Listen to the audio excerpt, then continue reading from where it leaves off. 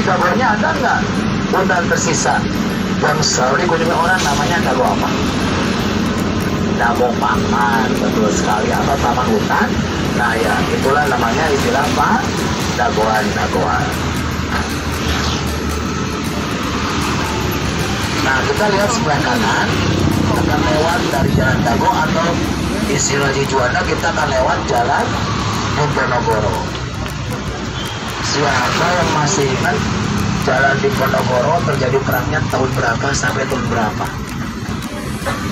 1825 sampai 1830 ya. Lama sekali kan? 5 tahun. Tapi ini Belanda orang-orangnya cepat sekali. Ya.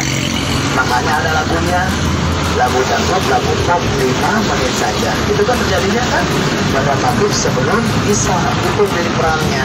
Tapi lamanya 5 tahun. Nah ini jalannya kita lewati, jalan di Ponorogo.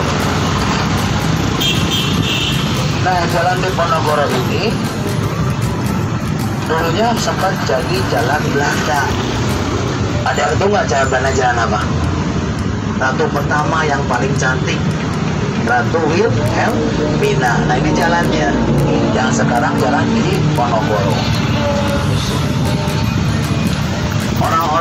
Kota Bandung datang ke Bandung yang dicari pasti pertama tempat makan betul nggak? Kalau nggak makan kita mungkin lemes, mungkin juga lapar, mungkin juga bisa sakit ya. Nah kalau yang namanya nasi timbel, nasi liwet, nasi bakar itu biasa ya. Nah di sini ada yang unik loh, namanya juga aneh nasi apa? Nasi bacakan, aneh ya.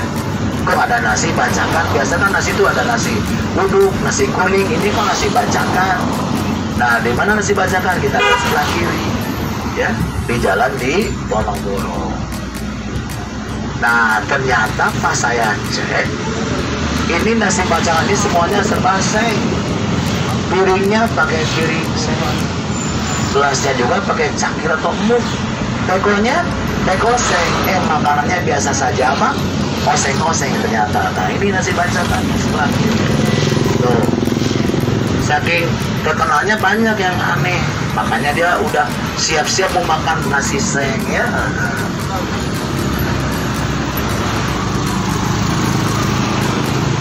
Nah karena tadi kita udah lewat pas gedung sate kita nanti ke belakangnya.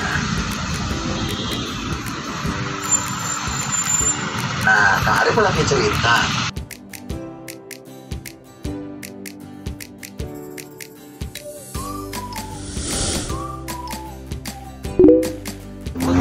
Sate, ternyata di sini ada sate yang terkenal, betul nggak? Pernah makan nggak? Belum ya, kita bisa lihat sebelah kanan. Antrinya, percaya nggak kalau hari weekend, sampai kayak bioskop, keburu lapar manten ya. Nah, coba lihat kita sebelah kanan betul nggak ngantri kayak bioskop ramai kenapa karena ini satenya sate jantung ya bukan pakai A tapi pakai O jantung itu sate sapi tuh lihat yang ngantrinya. Betul nggak? Kayak bioskop. Tuh, yang parkirnya motor mobil. Ini. Padahal hanya satenya yang di kayak sayu ayu begitu tuh. Lihat yang belinya. Makanya kalau beli di sini harus hari biasa. Hari minggu mah lihat tuh keberlapar manten ya nah itu kesenangannya makanya sebut gedung sate karena ada satenya. Di sebelahnya. Nah itu gedung sate kita bahas tadi. Siapa pertama kali yang nyebut ini gedung sate? Ternyata seorang gubernur kita yaitu Haji Abu Naefi dulunya bukan gedung sate ini dulunya adalah tempat pekerjaan umum. Di pantai sama tentara murka pada tanggal berapa? 3 Desember 1945 namanya gedung Hebe. Hebe ini bahasa Belanda. Bingung kalau bahasa Belanda kan susah ya. Nah mungkin ibu bapaknya Abang Tete mungkin penasaran ya. Yo semuanya bilang Hebe. Yo semuanya Hebe. Hovernement Bedreven coba sekali lagi. Susah ya udah jadi ya nah ini sebelah kanan kita lihat ada masjid masjid yang terkenal keulingannya juga Kenapa keunikannya? Coba lihat di atas ada keunikannya? Namanya masjid apa? Al Istiqomah apa keunikannya? Kita lihat gak ada apa? Gak ada kubah betul sekali. Satunya mesti di Bandung atau di Jawa Barat nggak ada kubahnya. Namanya Al Istiqomah. Nah kalau ini sebelah kiri bukan sejarah. Pernah rame filmnya juga sampai 7 juta office terjual. Habis tiketnya ya film apa? Iya betul sekali sih ibu tahu aja ya. Film Dilan. Nah ini di sini. Kenapa dibuat di sini? Karena ini sekolahnya dulunya SGA dan masih bangunan Belanda sekolah guru atas. Nah itu nah kita bisa lihat di sini ada pasar loak yang terkenal. Namanya pasar loak apa? Cihabi itu lihat sebelah kanan. Kalau hari minggu dengan yang pagi-pagi juga ada tapi kalau hari biasa dia nggak ada. Nanti dia udah beres baru yang jual yang asli di sini. Terkenal dengan pasar terkenal dengan istilahnya ada shopping sogo. Apa shopping sogo? Belajar sambil cimogo di tempatnya ya tadi sekolah Dilan dan Bilea di situ ya. Pernah lihat nggak? Waktu shoppingnya Bilea di mana? Dekat kan? Tuh lihat sebelah kiri. Itulah yang namanya shooting kita di pohon. Kenapa harus pakai angkot dengan motor? Jalan kaki aja ya. Nah itu shooting jadi kita diputer-puter ke mana-mana. Itu sekolah atas uh, rumahnya Milea ya. Belakang sambung nah satu lagi unik juga.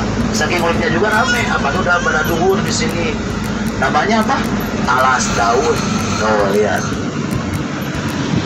Kan biasanya alas piring alas ikan itu alas daun. Sensasi makan tanpa piring pakainya apa? Pakai daun makanya lihat bosnya nanam pisang bukit. Dengan petik gratis ya. Nah itu. Nah ini ada pusdai pusat dakwah Islam. Inilah badan Islamic Centernya Jawa Barat. Dari pusdai ada R RI Radio Republik Indonesia. Nah sebelum turun tarik selalu ada pertanyaan. Pertanyaannya dibalik dompet apa dompetnya yang bisa jawab turun turun dompet ya. Berapa lampu merah yang kita lewati? Tujuh. Ada lagi? Selain tujuh.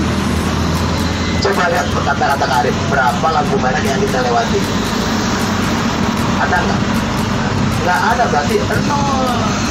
Yang lewati apa? Lampu semua betul. Berarti jawabannya nol. Alhamdulillah kebersamaan kita cukup dari sini. Maaf apabila ada sekali sampai lupa. Barang jangan sampai ketinggalan. Kamu mah.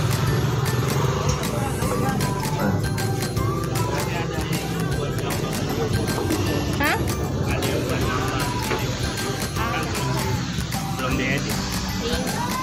Cepat ya orang